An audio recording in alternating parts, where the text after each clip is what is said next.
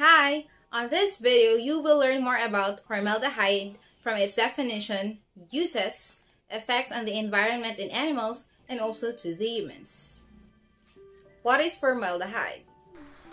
Formaldehyde is a colorless, strong-smelling gas used in making building materials and many household products.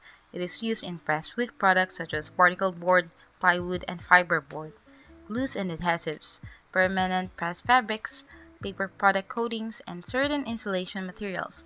Also, it is used in hair products and nail polish and preserving like embalming. In short, formaldehyde has a big role in the manufacturing of food products and many other materials that we see in the market. It is one of the large family of chemical compounds called volatile organic compounds or VOCs, meaning that the compound of gases or vaporizes at normal room temperature. What is the effect of formaldehyde in the environment? In the atmosphere, it usually breaks down quickly to create formic acid and carbon monoxide, which can also be harmful substances. When animals are exposed to formaldehyde, it can make them sick, affect their ability to breathe, and reduce their lifespans.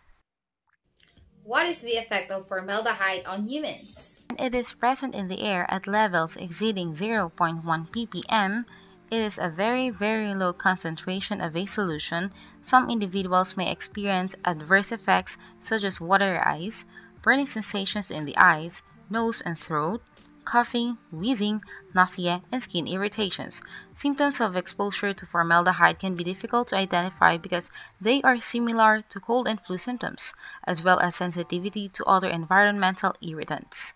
Studies shows that workers exposed to high level of formaldehyde like workers in the industrial area and the embalmers have found that most of them have myeloid leukemia and rare cancers including of the paranasal sinuses, nasal cavity, and nasopharynx.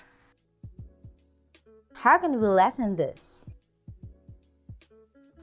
We all know that too much is dangerous. We can lessen the exposure to formaldehyde by the following. Number 1. Establish a no smoking policy in your home. Number 2. Clean chimneys and wood burning appliances. Number 3. Keep idling gas engines away from your home. Number 4. Buy solid wood furniture or be sure pressed wood products are sealed. Number 5. Increase ventilation during painting projects. Use low VOC paints. Number 6. Let new furnishings off gas before bringing indoors. Number 7. Ventilate your home regularly.